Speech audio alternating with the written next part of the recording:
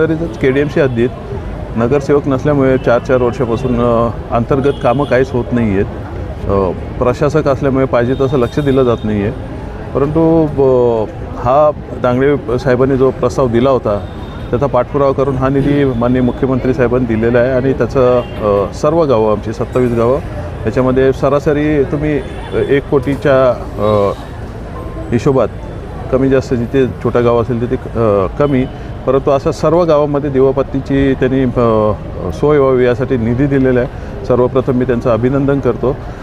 मी त्यांच्याकडे या गावांसाठी अंतर्गत रस्ते पायवाटा गटर हे होण्यासाठी पण एक सत्तर ऐंशी कोटीची मागणी केलेली आहे. ती लवकरच ते देतील अशी अपेक्षा आहे.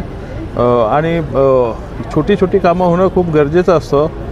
या गावांचा विकास झाला नाही आहे जी प गावं बाहेर पडलेली आहेत किंवा आत गेलेली आहेत अजून त्याच्यावर काही निर्णय नाही आहे आणि अशा वेळेस त्यांच्याकडे पूर्णपणे दुर्लक्ष केलं जात होता. तर तो कुठेतरी या अशी कामं छोटी छोटी आल्यामुळे भरून निघेल असा विश्वास वाटतो.